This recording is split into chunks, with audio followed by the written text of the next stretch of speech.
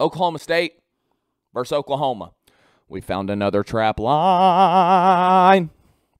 Line opened five and a half. It's now up to seven and a half.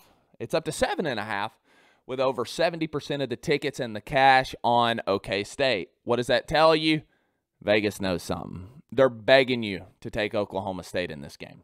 Um, does it make any sense? Absolutely not, because Oklahoma's damn dog dookie. Okay, Oklahoma ain't good at all. Now, granted, OK State last few weeks they ain't looked very good either. You know, they're for a they're for a little bit. Legitimately, I thought that they had a chance to make the CFP. Uh, then they got their damn ass beat by Kansas State. They ain't been the same since. So, as far as this game goes, I don't know if Oklahoma's going to cover the seven and a half. What I do think is that they are going to win. Um, so it wouldn't be a bad money line uh, parlay piece. If you got a parlizzle that you're putting together, you, you want to toss something in there to add a little more juice. I think they're minus 250.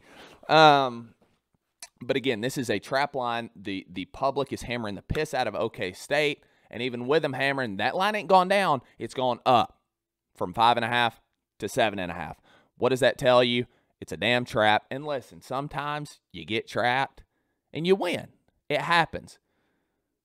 But other times you get trapped and you're like, damn it, why the hell did I bet that? I knew it was a trap. Why the hell did I bet it? I shouldn't have even bet it.